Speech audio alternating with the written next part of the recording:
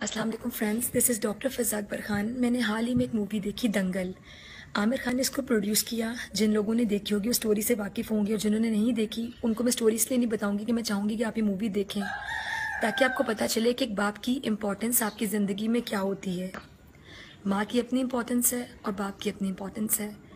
बाप मुल्क का वज़ी अजम हो चीफ जस्टिस हो आर्मी चीफ हो, कोई बैंकर हो, कोई डॉक्टर हो, इंजीनियर हो या फिर कोई रेडी बान हो, बाप का दिल एक सा होता है। हर बाप चाहता है कि मेरा बच्चा बेहतर से बेहतरीन खाए, अच्छे से अच्छा कपड़ा पहने और अच्छे से अच्छे स्कूल में जाए। लेकिन कहते ना कि हर ख्वाहिश ऐसी कि हर ख्वाहिश पे दम निकले। मैं बाप के हवाले से कहना चाहूँगी कि जब हमारे पेरेंट्स मतलब फादर्स हमारे यहाँ सिस्टम ये होता है कि हमारे जो फादर्स हैं, वो जॉब करते हैं। मदर ज़्यादातर हाउस वाइफ होती हैं। तो जब हम जॉब करने जाते हैं तो हमें पता चलता है कि कितना मुश्किल होता है ये पैसा कमाना। बड़ी कुर्सी पे बैठे बहुत से लोग ऐसे होते हैं, जिनकी सोच, जिनकी तरबियत अलग मैं कहूँगी कि आपसे छोटी होती है, लेकिन आपको उनकी छोटी सोच बर्दाश्त करनी पड़ती है। लेकिन कई दफ़ा उनकी फरमाइशें ऐसी हो जाती हैं कि आपको फिर बताना पड़ता है कि मेरा खून इतना छोटा नहीं।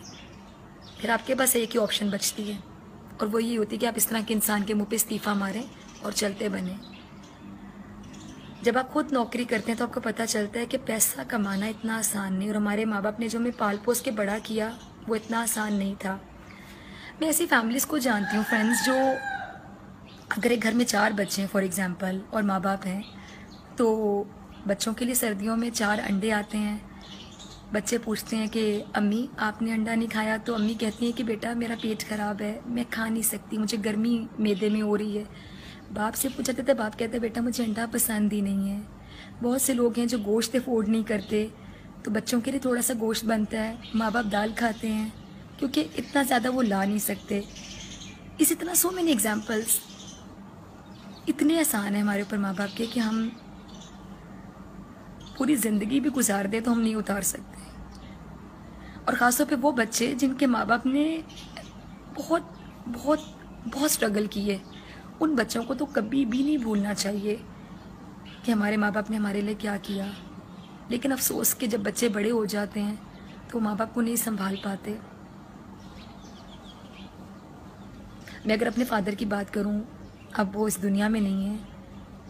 मेरी न्यूज़ मेरा प्रोग्राम मेरी, मेरा कोई प्रोग्राम ऐसा नहीं था जो वो नहीं देखते थे. इवन रिपीट में भी, दोपहर में रिपीट हो रहा है, रात में तो वो रात में भी रिपीट में देखते थे कि मेरा प्रोग्राम रात में इतने बजे रिपीट हो रहा है. वो तीन तीन बार मेरा प्रोग्राम देखते थे, वो मुझे बताते थे, ये सही था, ये गलत था.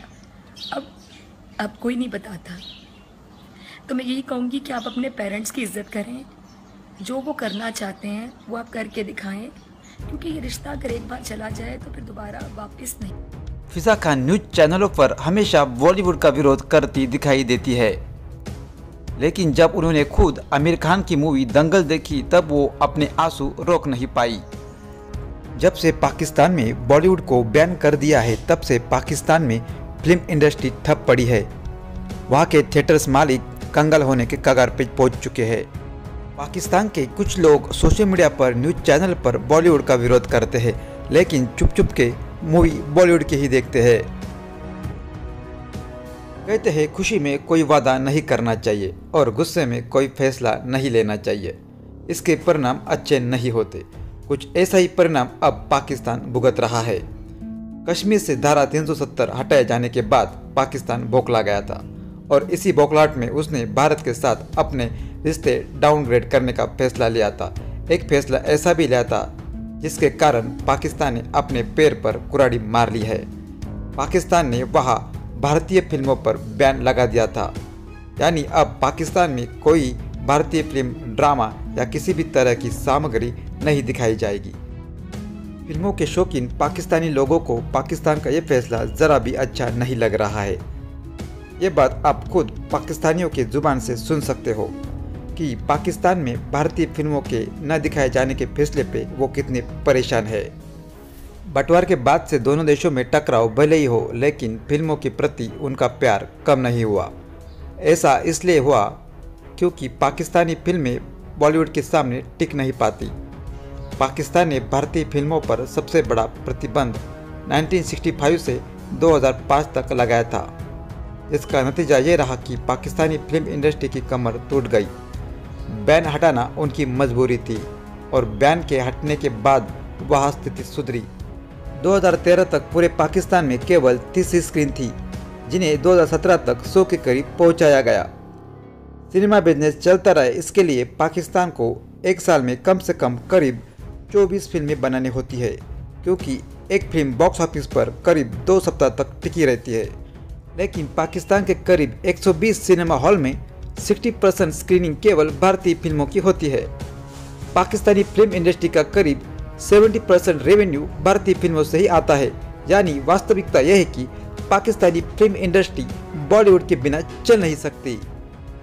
कश्मीर भारत का आंतरिक मामला है। लिहाजा भारत जो भी करे, उससे पाकिस्तान को तकलीफ़ नहीं होनी चाहिए थी। लेकिन आज पाकिस्तान ने अपने रिश्ते डाउनग्रेड किए हैं। तो ये सिर्फ़ कश्मीर को लेकर उसकी प्रतिक्रिया मात्र है। पाकिस्तान अक्सर ऐसा करता है।